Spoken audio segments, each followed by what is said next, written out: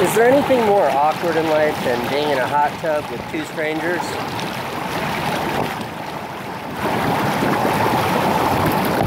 Not really. Everything is gonna be,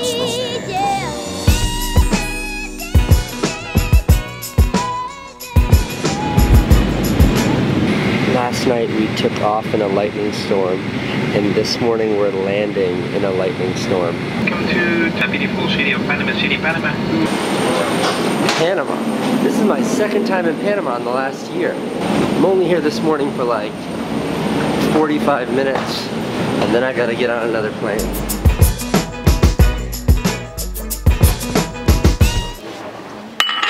Taking advantage of like a 25 minute lounge break here. They've got great internet.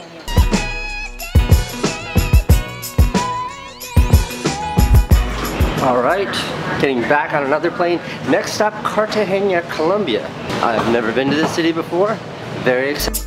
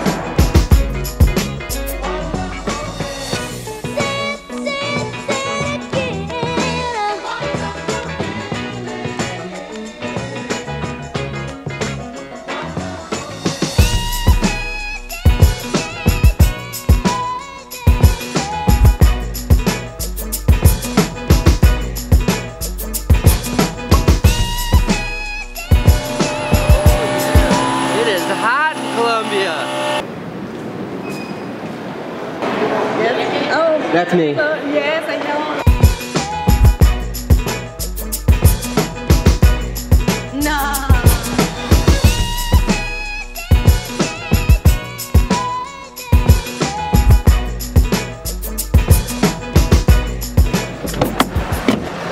Gracias.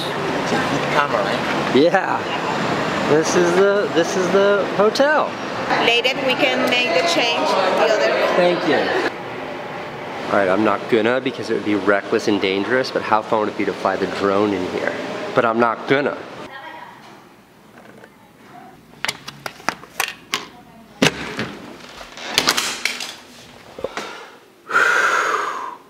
Hello, Waterview. Oh my god! I am so excited about being here in Colombia, but I'm just realizing some some numbers here. It's 11:25 right now. I'm being picked up in my hotel here at 1:30. And then at 1:30 they're taking me to where like the event is and I've got to do a talk and press and media and all this stuff. And I'm super excited about those things. That's why I'm here in the first place. But what it also means is that I don't really have a whole lot of time to explore Cartagena or even like spend any time on this dope beach or even any time to swim in this ridiculous multi-tiered swimming pool. All right, maybe I found a little time to swim in the pool because come on, look at this pool. Even that bird loves this pool.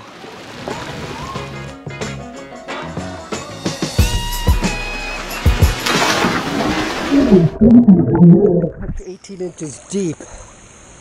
Ah, they broke both my ankles. So like an hour ago I tweeted to see if anybody in Cartagena wanted to show me around. And no one's gotten back to me, but uh, I did get some interesting ideas for things to do in my free time. I've got like 45 minutes.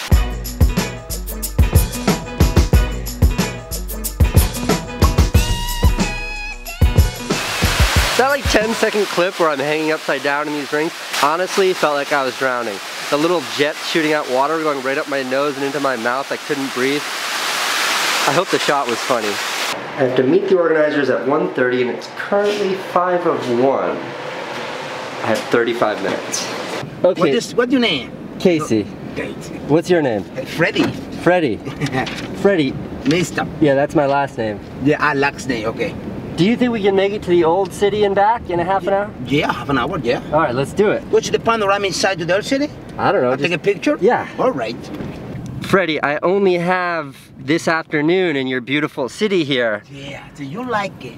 I love it, but I don't. flight today in the morning, the night. I leave tonight. yeah. You, he tell me. He tell me go to the tomorrow in the morning. No, I canceled that flight. Yeah. I leave today. 35, 35 minutos Right. ahora, Now. and uh, yeah, I want to see some magic. Oh, worry. not worry.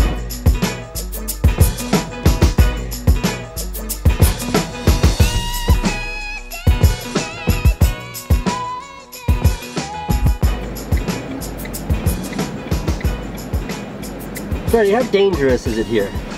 No, not so danger here. No? No. I no, saw a guy no. at the hotel with a gun, and then a guy at the beach with a gun, and then a guy at the parking No. garage with a gun, and then a No. lot It's of guns. Yeah, there are a lot of guns, yeah. There's no problem here, no danger. Okay. My city is uh, good, good. Security for everything. So no trouble. Yeah, left, no trouble, no trouble. This is the wall, this is the eight kilometer around to the old city. Look at the building over there. It's the San Felipe Fortress. Wow. Look at the San Felipe Castle. You, All right, so this this is going to be my five minute tour of the old city. Up yeah, here. Walking right inside to the wall. Wow, look how big this wall is. Man, Beautiful panorama, everything here. Colombia. Look at the house to the left, to the Gabriel Garcia Marquez house. Wow. Look, it's beautiful here. Take your chance.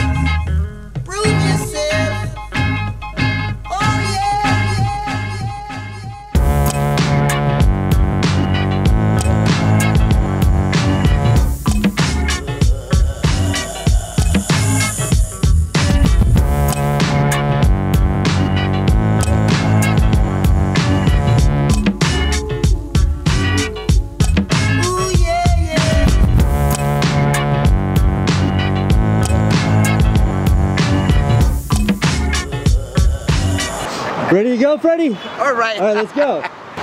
okay, and thus concludes Casey and Freddie's five minute tour, aerial tour of the old city. How are we doing on time?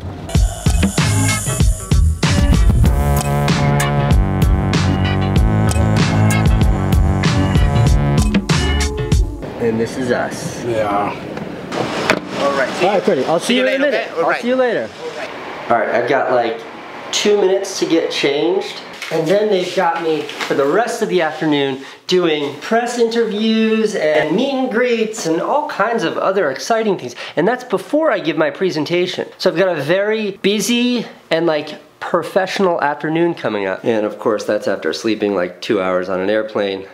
Button my shirt wrong. No big deal. No big deal. I'm psyched. I've got a really good presentation prepared for this afternoon. This, this is the convention center here where I'm gonna be doing my talk. It is so humid out right now that uh, the lens is all blurry. This is just gonna have to be the soft focus episode. Uh, there were a lot of questions in the comments yesterday about what are these talks that I do? How do I do them? Why do I do them? What do I talk about? Yesterday in Brazil, I was talking about online marketing and, and mainstream traditional media versus new media. Today's event called Andicom here in Colombia is much more of a business industry event where they're talking about where they're talking about information technologies and everything in between. They invite me to these things because my background in, in television and then in feature films and then in journalism and then in technology and all of these different trajectories that my career has taken me on has provided me with a perspective that the kinds of people that attend these events want to hear from. Honor of being invited to these like great events where I get to travel to like exotic countries and I come here and I connect with like a huge audience and speak to them about all kinds of stuff. One question that I saw like a thousand times was, do I get paid for these? Well, yes and no. For academic lectures, like last year I spoke at Yale and I was invited to speak at Harvard this year and, and I spoke at MIT to students in their MBA program those kinds of things like no i don't get i don't get paid for those sorts of things. But ones that are more for profit ones that people actually pay admission to sometimes i do get paid and that's amazing. But all of them almost without exception always pay for my travel and help me get there. So it really is like an awesome excuse to travel and then when i get to wherever i'm going it's a great way to engage with like people from the other side of the planet who are doing something similar to what i do. That's what today is ¿Qué estaba pasando en la década de los 80 en América Latina? it's almost time i give my presentation in five minutes ¿Qué país de América Latina fue el único que no superó eso?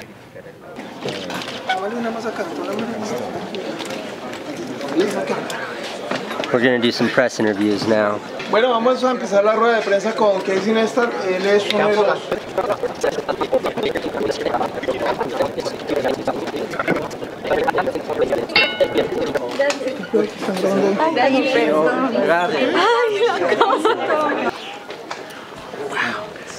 Thank you for filming. Thank you guys. I hope that went well. Freddie, I wish you came to the presentation. I think it went well. Excellent, no? Yeah, I think it was good.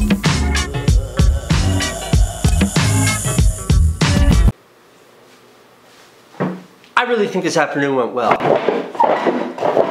Those things are always so exciting for me. I'm looking outside, contemplating what to do. I have a dinner invitation on the table, but I think I'm I'm going for a run. Dudes, dudes with machine guns on that bridge. They seem like nice guys. They had huge machine guns though. Colombia!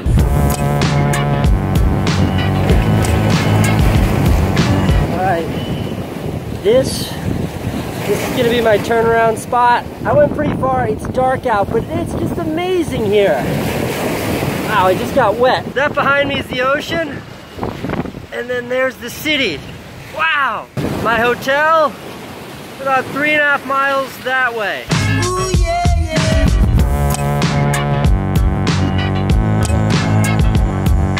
I can't believe that! What's up? It's true! I'm Casey. Okay, can, can I be in the vlog? You're in the vlog right I'm now. in the vlog right now! Oh, no! And I see you single every day! You're the best! Do more, work hard! Can I ride your skateboard? Yeah, really. Oh man. This is gonna be so awesome! It's so awesome! They, they didn't know why that you are! And they have mine! Oh man! There you go, oh, this is awesome! Nice to see you. Ah man, I love Colombia. I must have lost 10 pounds on that run. And me finishing here at the pool was not an accident. Really just a great run. I love running in heat.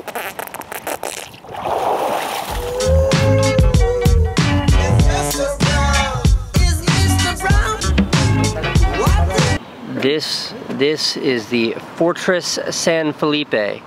I was supposed to go straight to the airport, but Freddie here, Freddie who is by far the MVP of the trip to Cartagena, took me on a little sightseeing tour. Look at that fortress.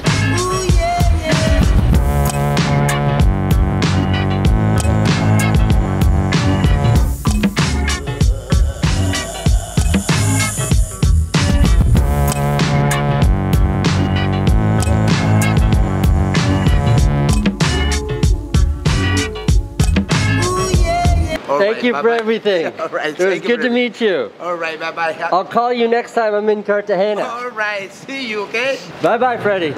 Of all the amazing things I could recommend for you to do while here in Cartagena, meeting Freddy would be number one. And that is what 12 hours in Cartagena, Colombia looks like. I wish I had had more time, but considering the circumstances, I feel like I got a pretty good experience in in a short amount of time. Fantastic city. How many episodes this week have ended with me going to sleep on an airplane? Still on my run, but there's this somewhat what I would describe as an unprotected hole in the running path here. See this hole? That's like 10 feet. Okay, just uh, just something to remember. Watch out for the holes.